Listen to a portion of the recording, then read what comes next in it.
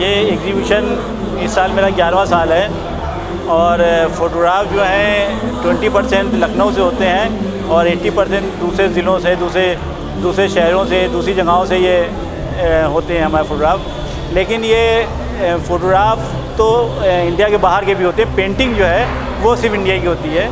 जो हमारे वो हैं, फ़ोटोग्राफ, वो इंग्लैंड, अमेरिका ईरान, इराक तक से आते हैं।